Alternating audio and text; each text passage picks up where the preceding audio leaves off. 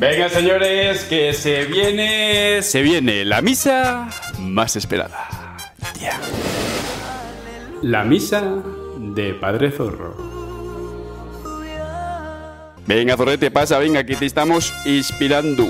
Bienaventurados todos aquellos feligreses a los cuales el destino les ha deparado caer en esta fantástica cueva donde te van a contar las noticias más candentes de nuestra querida comunidad fitness. Sí, no gano yo para camisetas. Pica ahí, pica, tírate ahí, vamos. A continuación, en este capítulo... La nariz de Titán y los bíceps han abandonado el chat. Titán, lo siento. Yo ya no tengo mi sitio en el cielo, por lo cual, pues yo, bueno, voy a intentar pasármelo bien. Ay, ahora sí, salió. ¡Ah! Me siento sucio, porque te imagino con la misma cara y la EP cuando expulsas el otro veneno. Pero es que vez es muy dado a hacer la de los políticos. Él hablar habla, pero no dice nada. En eco, para. Y a esta misa la vamos a titular algo así como Déjame pensar. Badin Cabalera y de Titan cancelados. Y a esta semana le voy a otorgar fácilmente un 8 sobre 10 en nivel de monstruosidad. Lo del general del este, vaya vaya, pero lo de Titán, Titán está descontrolado. Titán está como el meme de la oveja la lía, se pone en modo insoportable, modo repelente. Le decimos, Titán, te sacamos de la zanja, pero cálmate. Y a la que puede, otra vez, a la zanja. Pero quieto parado, ya llegaremos a esa parte. Antes hay que comenzar aquí con una pequeña lectura de del guion, ¿no? A ver qué nos ha puesto el guionista. Para la misa de este domingo tenemos al príncipe encantador, ha vuelto, enhorabuena tenemos a George Tabet, tenemos a Marquinos, tenemos un clon de Tarraco y un clon de Papizorro. Y obviamente pues tenemos a Babín Cabalera y de Titan, ¿no? Como platos así un poco más mm, suculentos y pues principales, ¿no? Y Chupipandi, te estarás preguntando, Papizorro, ¿me vas a dejar sin Chupipandi? Pues cabe la posibilidad de que entre un poco de Chupipandi, pero estoy pensando seriamente en hacer como los entrenadores. Los entrenadores que se precien de ser buenos entrenadores al final tienen como una plantilla y los jugadores que más juegan tienen que ir rotando para no quemarse. Entonces, pues claro, a la Chupipandi la estamos quemando un poco, en concreto a Eneco. Eneco es un jugador que juega muchos minutos. Entonces, como esta semana está malito, me estoy planteando hacer rotaciones. Entonces ya veremos si sale. ¿Y por qué formó parte de la Chupipandi? Por el bien de Neko no debería salir, necesita descansar, pero ustedes quieren, quieren Chupipandi. Porque si no digo la palabra chupipandi, producción no puede meter este fragmento. Pero, ¿quién es la chupipandi, tío? Por cierto, digo esto y me callo una vida entera. No sé si lo veréis, pero son las 11 menos... Mira, ahí está. 11 menos 13 minutos. A ver si lo podéis ver con brillo de focos o sin brillo. Le daré así vueltas. Bueno, confiáis en mí, si no se ve. Yo nunca grabo a estas horas, sinceramente, estoy medio dormido, pero bueno. ¿Por qué estoy grabando a esta hora? Porque a las 12 y media me vacunan, me van a quitar aquí la virginidad y soy tan comprometido aquí con la misa que he pensado, mira, la voy a grabar antes de vacunarme, no vaya a ser que luego me siente mal la vacuna y se queden sin misa ustedes, ¿sabes? Entonces, pues montamos todos aquí el drama. Esto, señores, se llama compromiso y esto encaja muy bien con la pasadita, que hace mucho que no lo hago, la pasadita del cestillo de likes y suscripciones. Échate un like, échate una suscripción, porque yo tengo un compromiso muy grande que he pensado ahí en todo, en plan, a ver si me va a sentar mal. Entonces, pues bueno, creo que es justo que me devuelvan este, este compromiso, ¿no? Y bueno, ya está, que me siento sucio. Hacía mucho que, que no lo hacía, ¿eh? Ahora sí, Comenzamos. La semanita ha venido repleta de buenos clones. Me habéis pasado un clon supuestamente mío que, bueno, os lo acepto, pero vais muy justos, ¿eh? Últimamente, ¿eh? Me, me, enviáis a cualquier calvo con barba. Y encima tiene mucha barba. Yo siempre la llevo mucho más corta. Pero mis torretes dicen que me parezco a este tío, o que este tío se parece a mí, no sé quién nació antes.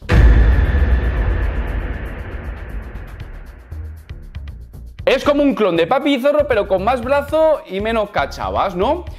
Y bueno, según ustedes se parece a mí, yo pienso que no, yo creo que os fijáis mucho en la forma de la cabeza. En cuanto una cabeza se parece a mi cebollo, ya veis allá Papi Zorro. Yo claramente veo ahí a un tarraco versión liposucción. Para mí es mucho más tarraco. Ahora bien, si no te parece tarraco este, te saco el siguiente.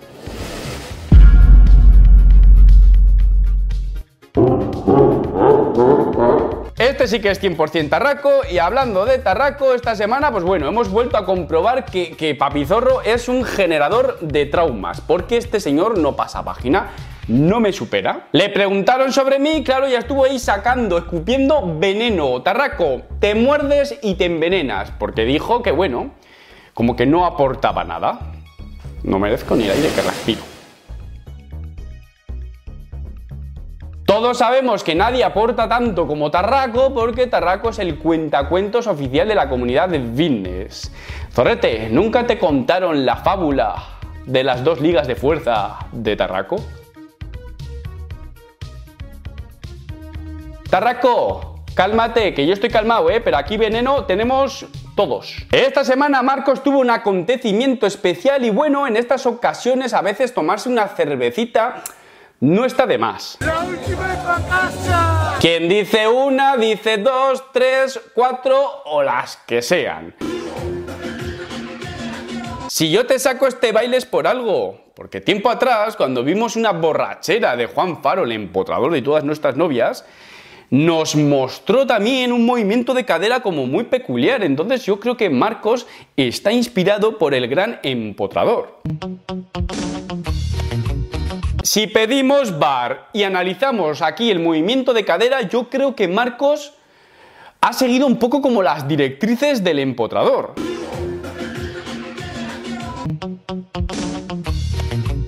Juan Faro no hace preliminares. Juan Faro son los preliminares.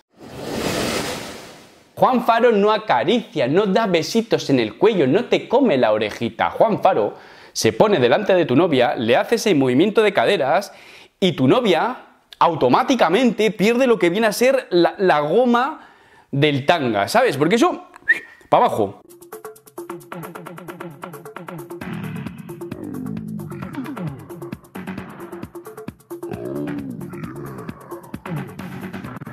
¡Voy a tope!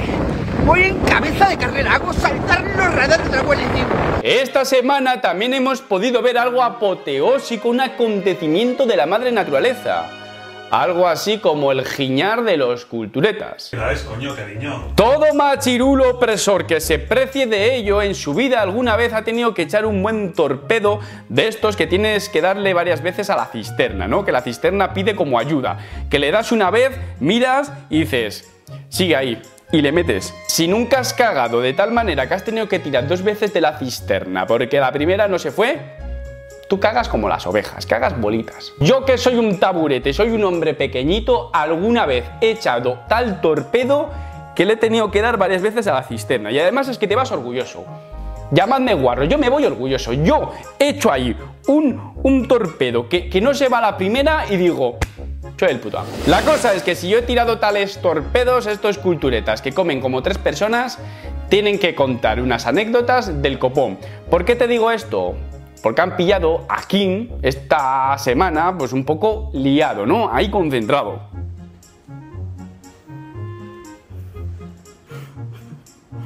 Trabajas cagando. No me grabes, coño, cariño. Es muy gracioso porque de primera se enfada con su bella dama y le dice, no, hombre, no, en estos momentos no me grabes. Pero luego el vídeo se subió, entonces quiero entender que luego le dio permiso, ¿no? Kim, espero que no te importe demasiado, porque una historia se va a las 24 horas, pero una misa es eterna. Hola Kim, ¿qué tal? Tu truñaco se queda aquí, guardado para la posteridad. ¿Me grabes, coño, cariño? Zorretes de mi corazón, tocaba rotaciones, pero como os quiero tanto, vamos a sacar a Eneco al campo. ¡Eneco! ¡A jugar! ¿Y por qué formó parte de la Chupipandi? ¿Por qué os digo esto? Os lo enseño. Un señor llamado Coach-Luca, yo no le conozco, pero parece ser que le gusta lo que viene a ser las chancletas voladoras. Y le ha metido una chancleta bastante interesante, le ha metido una chancleta con mucha razón, ¿eh? ¿Para qué nos vamos a mentir? Subió una historia donde sale Neko con cara de bueno, cara de bueno, bueno, bueno, bueno, ángel celestial. Donde debajo sale este texto. Se tiene que liberar el calcio. Espérate, espérate, producción, ponte una música acorde a esto que vaya chapa innecesaria. Ponte algo como, yo que sé, música clásica y que no tenga copyright. Se tiene que liberar el calcio para que se abran los espacios de la actina. Y, subrayado, ¿eh? debe ser muy importante eso. Y que así la cabeza de la miosina, subrayado también, pueda generar la contracción. Que te quedas un poco así como, sí, pero ¿y qué? Quiero decir, vale, yo ahora lo sé. ¿Y, y qué? ¿Cuánto va a cambiar mi vida ahora? Entre cero y, nada, ¿no? Ah, vale. Porque el señor Coach-Lucas se quita la chancleta y le dice, seguramente Arnold y Coleman estaban pensando siempre en eso cuando entrenaban, ¿no? Tú imagínate a Coleman entre series pensando, por favor, calcio, libérate, que si no la miosina esta no puede hacer la contracción, ¿eh? Y luego señala, esto no informa, confunde. Para posar de expertos de hipertrofia en las redes se necesita algo más que copiar y pegar textos traducidos de Brad Schonenfeld. Luego se preguntan, ¿por qué somos la chupipandi? Pues por cosas como estas.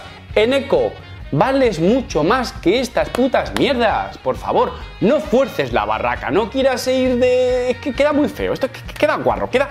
¡Ah! Me siento sucio.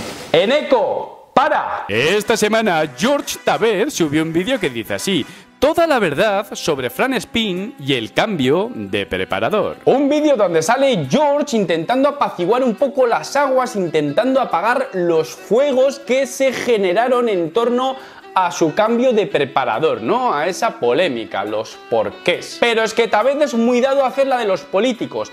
Él hablar habla, pero no dice nada. Hablar habla un montón, pero te quedas igual, vez eres el mejor del mundo. Porque hace un vídeo para acabar con las polémicas en torno a su cambio y resulta que dice que ha cambiado en resumidas cuentas porque le cambió las condiciones y no quería aceptar las nuevas condiciones y bueno, pues la gente está pues está un poco alteradita, ¿no?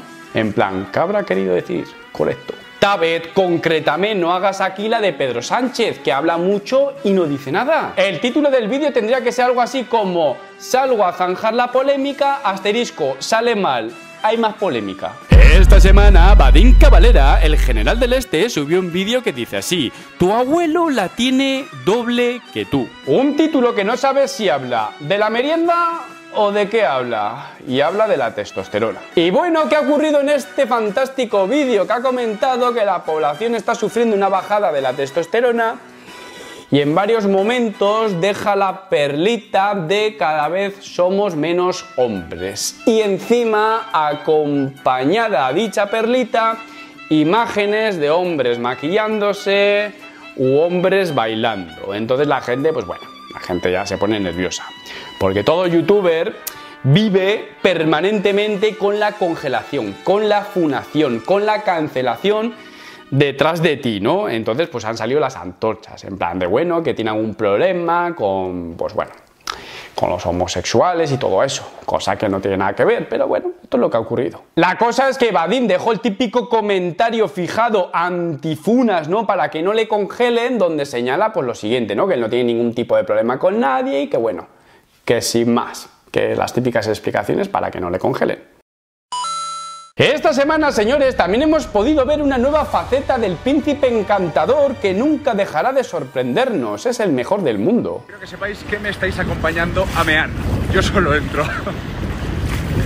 ¡Ay, qué gustito! Yo solo entro al mar a mear. Esa es la verdad. Está claro que todos meamos. Yo me he pegado unas meadas en el mar que, bueno, que a mí sí que me van a funar, pero los peces. La cosa es que me pregunto yo, príncipe encantador, ¿era necesario tal nivel de detalle. Ay, a ver, a ver la carita cómo me cambia. Ay, ahora sí, salió, está saliendo. es que sale ahí en plan gustoso el tío, en plan echándolo con mucho gusto. Ay, ahora sí. Era necesario captar tu cara sin un primer plano, esa cara que tienes de encantador, mientras expulsas ese líquido dorado está saliendo. Príncipe encantador, si yo sé lo que pretendes, pretendes quedar así como rollito guay, rollito mira qué campechano soy, qué auténtico soy.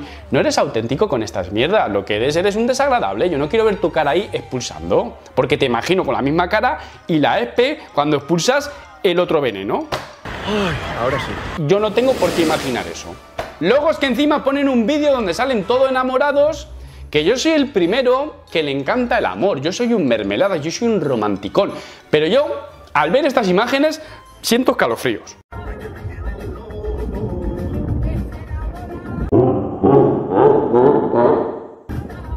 Siento escalofríos. Iros a un hotel. Esta semana también hemos podido ver que tras la bajada de peso del invencible, del hombre que nunca se rinde, deja tras de sí una sorpresita.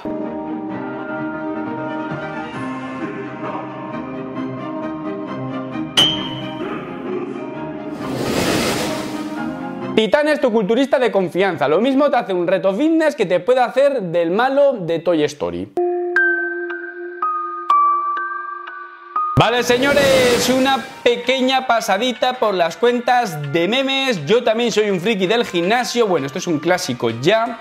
Y vamos a ver qué ha subido. ¿Vale? Bien, acompáñame a ver esta triste historia donde sale el príncipe encantador, porque tiene una fijación con él de la hostia. La cosa es que el príncipe encantador debió subir esta historia, ¿no? Donde sale un flamenco y la parte de abajo pues son sus piernas, ¿no? Como regocijándose en plan de, sí, bueno, bueno, me llaman flamenco, pero mira qué cachabas tengo que francamente ahí está muy bien. El problema es que esa foto o ese vídeo es de las catacumbas de Tutankamón, ¿no? Creo que tiene, tiene un poco de tiempo. Porque, eh, bueno, lo que ocurre es esto, ¿no? Que saca estas piernas sin tatuajes y claro, la fiscalía ha dicho, no, espérate, ¿qué me pasa de publicación? No, aquí está. La fiscalía ha dicho que, que claro, que mira, que no hay tatuajes y que a día de hoy tiene tatuajes, ¿no? tiene tatuajes. ¿Aquí qué pone? Espe, esto está, ta, ta, no se han dado cuenta de nada. Entonces, claro, la gente está diciendo, pero este tío de qué va? Quiero decir, está tirando de, meroteca, ¿no? No sé, Borja, de verdad, deberías evitar estas cosas, o sea, deberías calmarte un poco, ¿eh? Bueno, señores, llegamos al punto álgido del vídeo, al núcleo del incendio, a la perlita más brillante de esta corona. Y bueno, ya es oficial el combate entre el Invencible y Corbachín. Aunque era un secreto a voces, porque ya desde hace tiempo lo sabíamos todos. Yo voy a ser muy sincero con vosotros. Yo creo que todo el beef, toda la parafernalia que están montando está todo pactado. Desde la noche de los tiempos, siempre en el boxeo se han hecho estas cosas. Para generar un poco de expectación. Para la velada, pues siempre se fingieron, pues como piques, ¿no? Y Titán, que es un showman, le pega perfectamente todo el circo que está montando, por favor. Titán, me fío menos de ti que de Juan Faro con mi novia en la ducha. No te digo más. La cosa es que voy a reaccionar a todos los chancletazos que se están mandando, pues por el buen espectáculo, pero yo, yo no me creo nada. Esta semana las primeras zapatillas voladoras vinieron por Instagram. Que ojo, que mi rival ya está empezando a poner excusas. Ya no voy a subir vídeos de mi preparación porque mi rival lo va a ver todo, me duele aquí, me duele allá. Yo huelo a miedo. Estaba Titán tranquilamente en la playa con una silla que parece la típica silla que lleva tu madre, ¿eh? La típica silla, la sombrilla y la neverita para echar el rato. Yo empiezo a leer a miedo. Pues estaba en la playa comentando que él huele, huele el miedo en el rival, percibe el miedo, es como las pirañas, huele la sangre. Y digo yo, Titán, pero tú qué vas a oler si te han roto la nariz. Titán, tenía que decirlo, esto ha, ha enlazado muy bien. Porque justo después dice que le rompieron la nariz en un sparring con un tío súper pesado. Titán, tenga que decirlo, ¿qué vas a oler tú si no llevas nariz? Y me rompieron la nariz y me veis aquí poniendo alguna excusa, no. Señoría, perdónenme, no me gusta meterme con las lesiones de nadie. Y alguna vez hemos hecho alguna broma con que los bíceps salen del chat y cosas así y yo, yo lo siento muchísimo. Pero que yo ya no tengo mi sitio en el cielo, por lo cual, pues yo, bueno, voy a intentar pasármelo bien.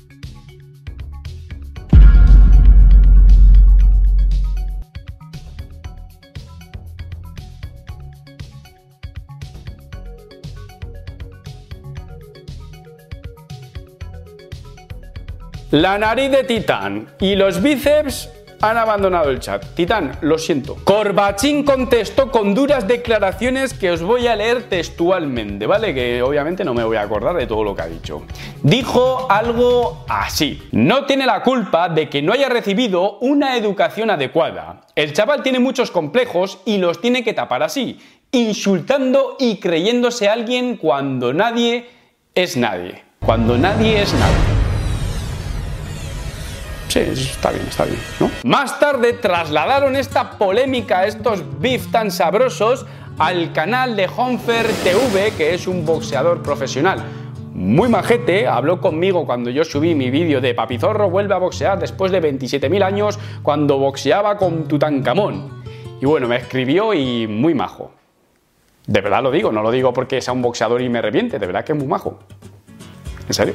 La cosa es que hicieron un directo y este directo se resubió al canal de Honfer TV y bueno, aquí se armó la de Dios. Pero sí que es verdad que había bastante diferencia en la altura, o al menos en el peso. Y ¿Cuánto mides? Experimento. ¿Cómo? ¿Cuánto mides? Yo mido 1,74. ¿Cuánto mides tú? 1,72, bro. ¿Qué diferencia? Dos centímetros. 1,72.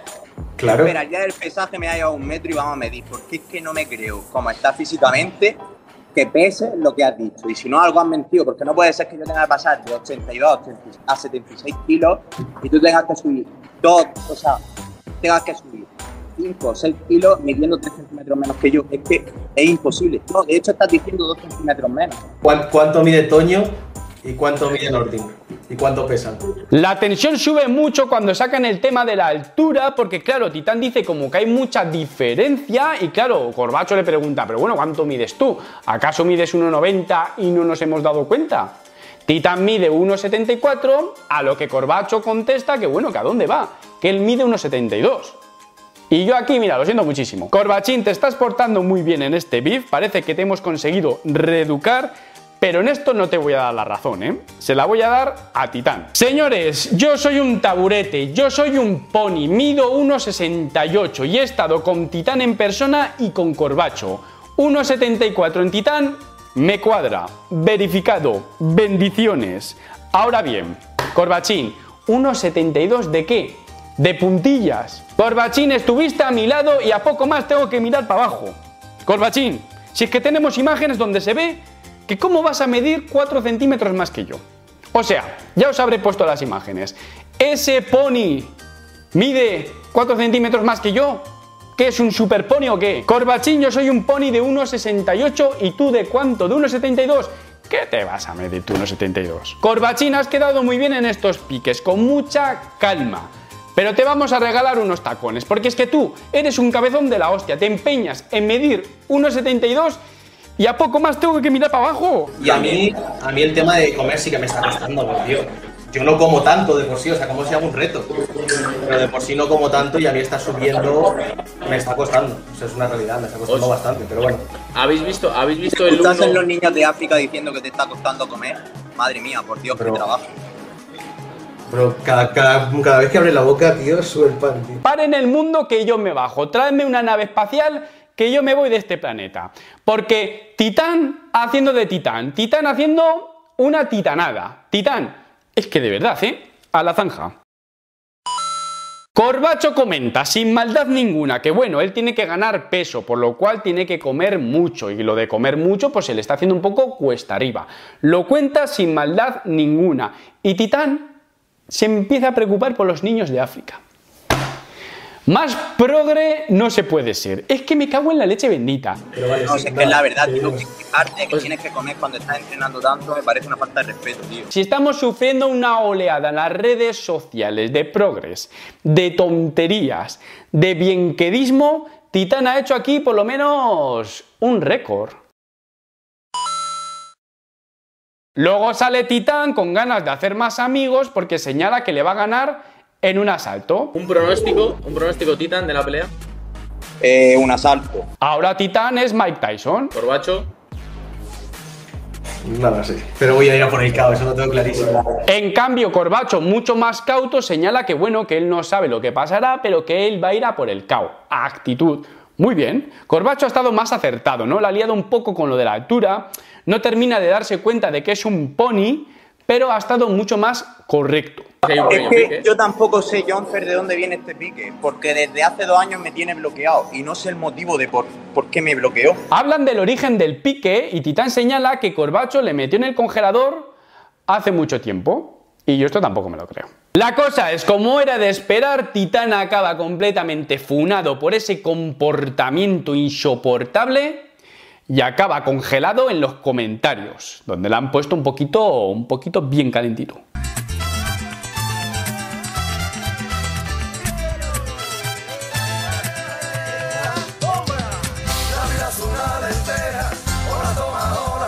Titán, por favor, te pido encarecidamente que dejes este marketing de caer como el puto culo a la gente. Te estás haciendo aquí el embudo del hate. Titán, por favor, que yo sé que tú eres majo, pero esto no te representa. Bueno chicos, vamos a dejar a Titán por hoy que son las 12 menos 20 y tienen que vacunar a papá zorro para ser eterno no.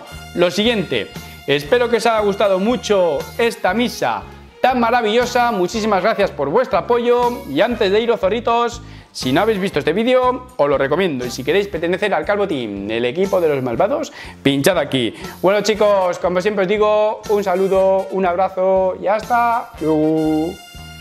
Me quedo afónico, ¿eh? De la intensidad que le pongo, las ganas que pongo. Compromiso total. Cestillo, cabrones, cestillo.